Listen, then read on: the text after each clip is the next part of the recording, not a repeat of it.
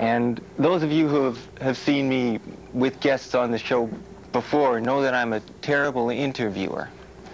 And I thought maybe one of the most uh, fun things we could do would be just to get Ka-Ping up the blackboard and drill him with questions and he, see how smart he is. Um, but we'll, we'll save that for a few minutes. We should we should have have a little little chat. Let him let him say say hello to his, uh, parents. Is that uh, would you like to do? Hi there. All right. Well, people don't usually say this on every show, but hi, Mom. Hi, Dad. Atta- attaboy. um, it's great to be here. Uh, and, uh, well, I'll just see what I can do. I Yeah. watch this show sometimes. It's a, it's a great show. Thank you for the endorsement. Um, now, what we had with uh, Mr. Barsby when he was our teacher, the big deal for us was Thursday afternoon math contest meetings. Um, do they still happen on Thursday afternoons? Um, no, they don't actually. We just, just have math contests every once in a while in school. Every But- once in a while. Nope. Well, yes, but we don't have the, the regular math contest meetings, no. How about, I mean, before Christmas when, when the, now the school is over, okay, you don't have them now, but you mean even in the year you don't have weekly, No, weekly don't. sessions? No.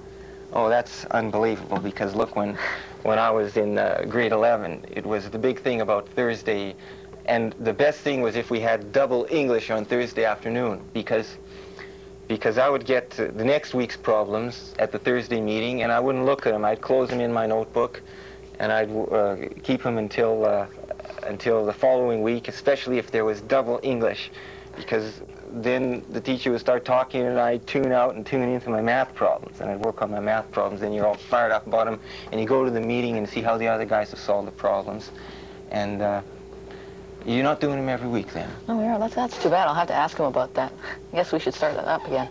Um, yeah, how do you manage to uh, to win the math contest still? I thought that was an essential ingredient because this is the, the deal. We uh, we used to do real well in the math contest. The University of Waterloo would put out a, a math contest for grade 11s, and John would get us all p- pumped up on math, and we'd we'd write the contest, and, and our school would would would usually win or come in second or something.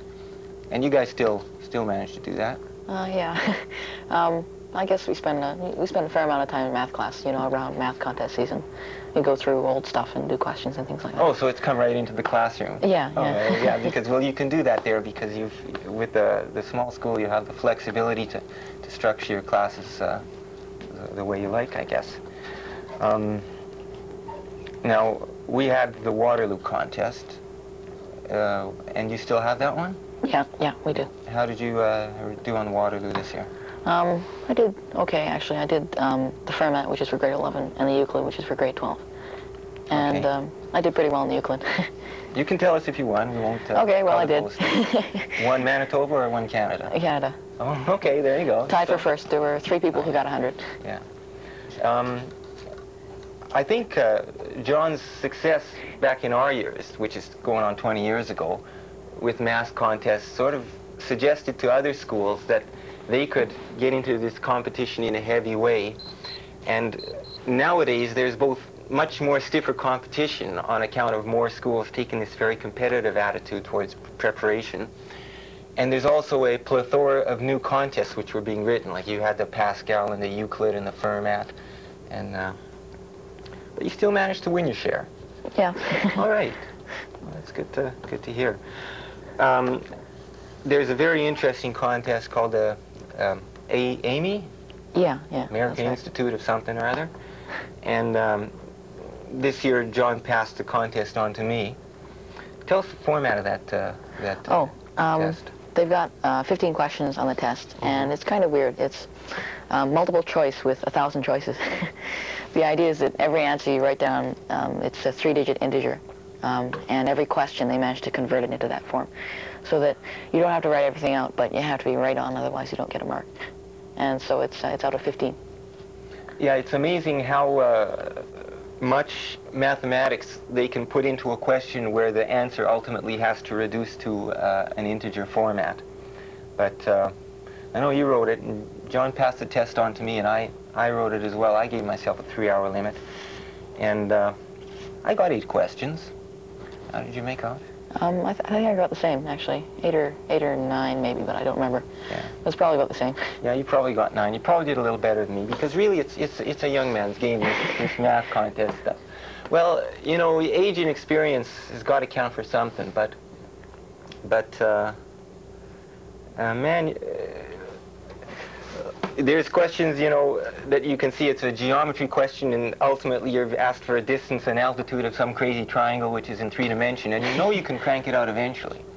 But a lot of the problem is like the decision as to what pathway you're going to choose, like how you choose your coordinates. And whereas one pathway could take you half an hour to crank through, another one might get in 15 minutes. So what is it that lets you choose the right pathway? Um, I don't know really.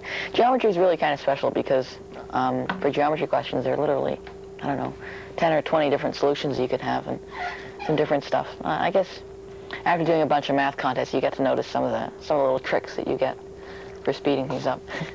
Yeah, um, you do you do get a feel for for choosing choosing right methods of attack, but I don't know. It's it's it's, it's an art and it's a science and it's it's a lot of fun. yeah, it It is is. a lot of fun.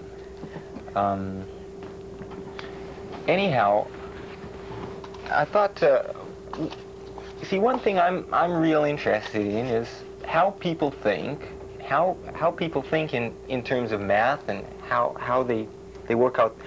You got a certain impression of how you do it in your own head, and you want to get in someone else's head and see if they're going the same way.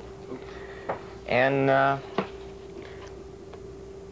one thing I, I do, I work at the university as a, as a technician, and so I'm in contact with a lot of academics. Sometimes I'll ask them, ask them questions just to see how, how their mind works. And usually, the funny thing about these guys is uh, they, they're very busy people. I mean, they don't want to be asked math questions. You can't find a guy that wants to try a good math question. I, I really don't understand this state of mind. I mean, I, I'm myself am never so busy that I wouldn't drop whatever I'm doing to try try my hand at a math question. But th- these guys, uh, university kind of guys, they always seem to have more important things to do. And uh, I know Ping won't uh, won't mind trying trying some math questions cold. Um, he's obviously, you know, smart enough that if he gets the wrong answer, it's not an embarrassment. Um, I, you see, I'm trying to remember. I wanted to say something about the salary freeze because I started talking about the professors, and of course, of course, uh, they, uh, the government said they're freezing salaries of all university employees. No, not of, of all university. They're not freezing the university. They're freezing all the provincial government employees, except uh, there's some exempted classes, and university workers are exempted. And uh, a- couple of other categories. Speaking, speaking for university workers, I, I think it's an embarrassment that we're, we're exempted. I, I make 36,000 bucks a year. I think it's a, a king's ransom, and we got unbelievable benefits. I have a seven-hour working day, long weekends in the summer, three weeks vacation, and I'm just a technician. And uh, I don't see why my salary couldn't be frozen along with everyone else's in these uh, in these times of uh, when the country's going into the hole at the rate of 30 billion dollars a year. I don't see why uh, the university should get exempted, but I guess they have a an influential lobby group. Just about every week they're in the newspaper whining about how they're not getting enough money. And I guess maybe the government just didn't didn't want to poke them poke them in this time to arouse their their uh, complaints again, so they sort of they gave them this exemption for no reason that I can see. But uh, anyhow, that's not the topic of today's show. Ping, I'll ask you a simple question just to demonstrate the basic concepts of geometric intuition here. If we suppose that this table has a thousand square inches area, Oh, okay. suppose the area of the table is 1,000 square inches, and we make it 1% longer 1% wider, what would the new area of the table be, more or less? Oh, okay. Well, you take um, 101%, which is like the amount that the amount of the table you're getting wider, and you multiply that by 101%, which is the amount that you're making it um, longer. Longer. This is longer. That's wider. Um, and you get a number which is, uh, I think, 102.01%. And then you multiply that by um, 1,000 square inches, right? Right, So okay. Yeah. That gives you 1,020 square inches. Perfect answer. Um, I've got to I've got to ask uh, ask you uh, harder questions than that if I'm going to shake you up. That's that's a question a lot of uh, university guys uh, do have trouble taking, uh, uh, getting the answer to. I, it came up in an argument a few weeks ago over whether people actually learn something when when they take calculus. And I said, look, I think you took calculus, all you guys sitting here, and you didn't learn anything. And I asked the same question about the table. And um, no one, no one really got it. Um, I mean, you learned calculus, you passed the test, but th- is that a calculus question? Not really, no. Um, it's just, I guess, it might fool the guy who's doing it and trying to figure out what the size of the table is, and you can't do that. But you know that um, if you add 1% to the length, that adds 1% to the whole area, and the same thing. I guess I, I consider it a kind of a calculus question because to me, the idea of calculus is that it's a smart idea to not worry about that extra 0.01% after the 2%. that if it's 1% longer and 1% wider, then it's basically 2% bigger.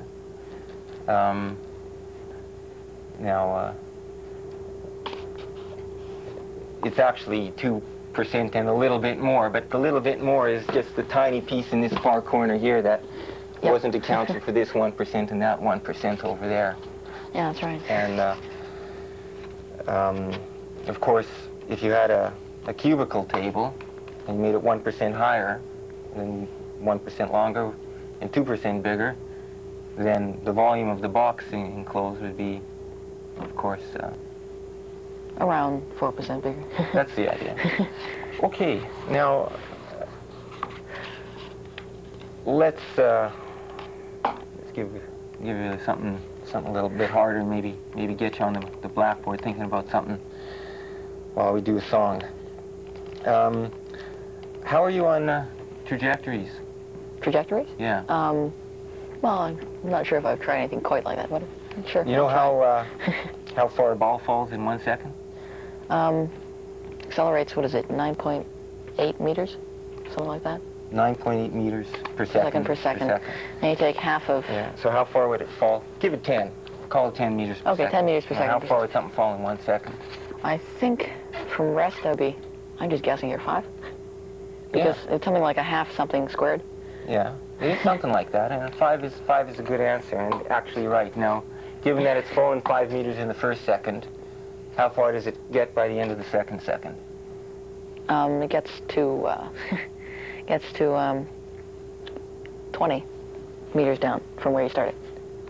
Of course. right. Yeah. And uh, third second? Um, that'd be uh, 45 meters down from where you started. Does our home audience know how Ping is uh, coming up with these figures? Is it apparent to, uh, why am I asking you? I'm on television. Nobody's going to answer me. Okay. Um, in the general studio participation here, is it obvious where these figures are coming from? Get to the board and show it. Okay. Ooh, again, walking over my cords. okay. Okay. Um, you explain what well- we've just done. Okay, I don't know exactly what the formula is, but a ball kind of falls like that. And um, the ball accelerates by a constant amount every unit of time, and that's, we just rounded that off to 10 meters per second per second. Um, and the formula goes like uh, a half of the acceleration squared or something like that. I just kind of plucked it out of my head, and he said it was right, so I guess it's right. and uh, if we take it to be 10 meters per second, then um, after one second it'll fall 5 meters, right? That's half of 1 squared. And then after another second it'll fall 20 meters. And after another second it'll have fallen a total of 45 meters. And um, actually, don't have to check the other ones because as long as you know this one's 5, you know the other ones um, are in the ratio to that one as the squares are, which means um, that sounds like a rather, rather awful way of putting a very simple thing, but um, the um, distance that the ball falls is proportional to the square of the time. So 5 is um, 5 times 1, and 20 is 5 times 4, and 45 is 5 times 9, which is 3 squared. That is the way it goes. Yep. All right, now we're going to do a song, and uh, while uh, while we do the song, I'd like you to uh, work on the problem of a cannonball shot with uh, out of a muzzle at a 345 trajectory. Not the Oh. high 345, the low 345. Okay. Yeah. Give it 100 meters per second velocity. Whoa, got my triangles wrong here. 100 meters per second velocity. And tell me how far it gets. And we're going to do a song. And Oh, uh, don't interrupt the song with your answer. We'll, you should hopefully uh, finish this by the time we get to the end of the song. 100 meters per second initial velocity. I don't know my physics. 100 meters per second. You know, uh, Okay. you know, uh, breaking into vectors, so. Mm, Yeah, yeah, I, I do. Okay, then you're away, you're away. be able to get it. Yeah, if you wanna, if you wanna think away from the music, you can just walk out of the studio while. Or no, actually, it'll be more No, fun no, while we're playing. They can be panning the camera to you and watching. He doesn't need to know the camera's See, this guy is smart enough. The distraction of the music should not be a should not be a major factor, and we'll we'll see what you get from that, and then we'll check it out at the end. Now, All right. we're back to our our musical board. Could you please not scratch the chalk so loud? No, no, go ahead, go ahead. Uh, we love getting letters, and here's a letter. Dear Marty, a big hello from your friends west of the Red River. We watch your show every week and would like to tell you how great it is. Thank you. Keep up the good work, Marty. Your fans, Yvonne, June, Loretta, and Ryan. Wow. P.S. Your songs are great. We love your music. Could you please sing a song for us? Yes, absolutely. Now here's a song by uh, by Freddie Fender. Now Freddie Fender had uh, two real big hits back in the 70s. Uh, yeah, what they call the Tex-Mex sound, a sort of uh, Mexican guy singing country music. And one of them was that beautiful song, uh, Before the Next Teardrop Falls, where he actually does a verse in Spanish. That's a real nice touch. And, uh, and the other one was this, uh, wasted nights, wasted days and wasted nights. I have left for you behind. Cause you don't belong to me, cause you belong to somebody else. Why should I keep loving you when I know that you're not true? And why should I call your name when you're the blame for making me blue?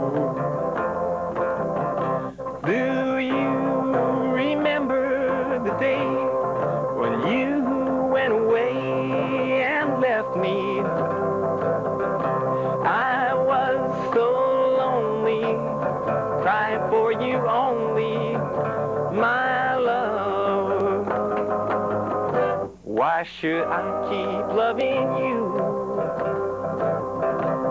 when I know that you're not true? And why should I call your name when you're the blame for making me blue?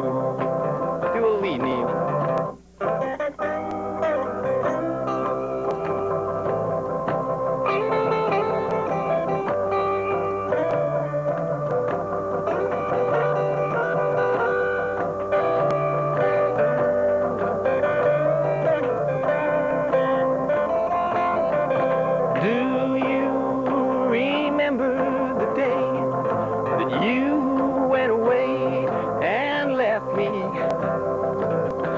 That chalk is smoking.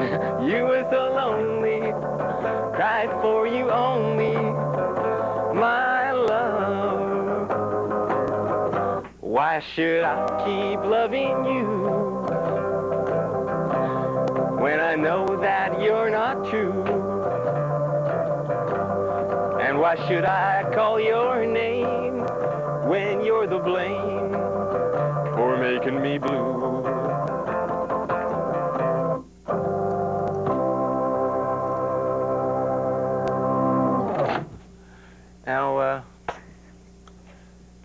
Uh, return to the, the big board, and I hear the, the sound of chalk dust is, is no longer going on, but I think you, you do have a few minutes to, to check over your work because we just like to do a little bit of analysis on on the song. Uh, well, there's no analysis as such, except we just want to point out the use of the augmented chord. The augmented chord is defined as the normal chord, dum, dum, dum,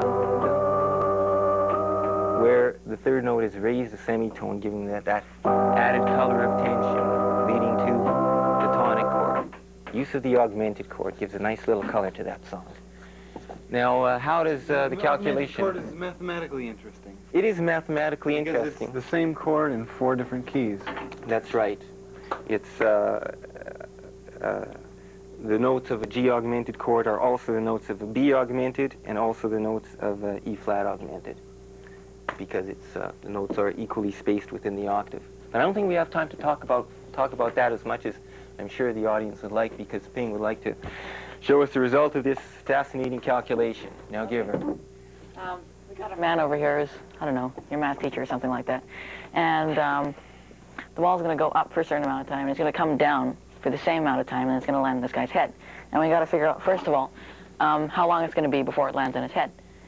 Um, so if it's going 100 meters a second like this, right, then we just kind of scale up the triangle. You get 100 by 60 by 80, right? So that's 3, 4, 5. Um, so we can break it up into vectors and say the ball's traveling 80 meters a second that way and 60 meters a second that way.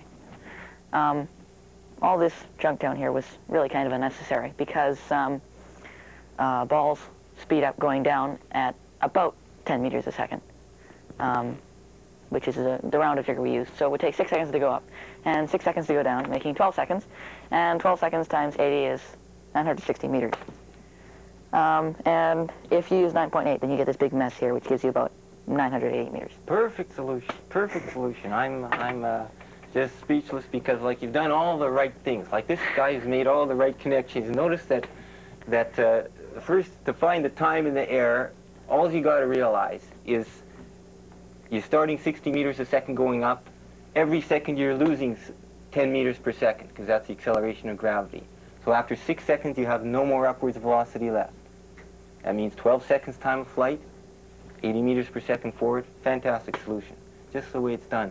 You'll never see it that, done that way in university. I mean, they'll always be doing one Calculus. half AT squared and use a lot of calculus on that. But if you just think about it, man, those things just come out just right. And uh, nice problem, nicely done.